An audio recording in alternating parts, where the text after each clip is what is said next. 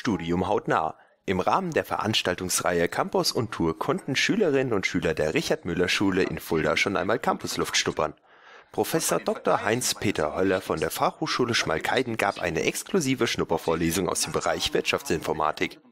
Spannend an dem Studiengang Wirtschaftsinformatik ist äh, diese ganz spezifische Kombination zwischen wirtschaftlichen Aspekten und IT-Aspekten.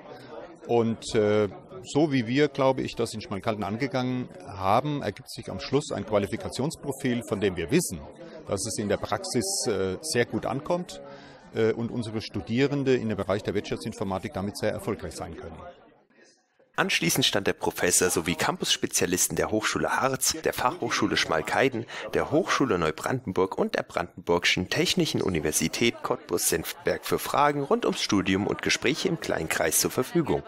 Sie gaben einen Einblick in das Studentenleben an ihrem jeweiligen Hochschulstandort und zeigten die Vorteile eines Studiums in den ostdeutschen Ländern.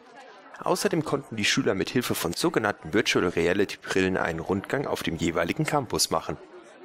Leckeres Essen, angenehme Gesellschaft und funky Live-Musik. Das erwartete die Besucher beim Picknick in der Löhrstraße.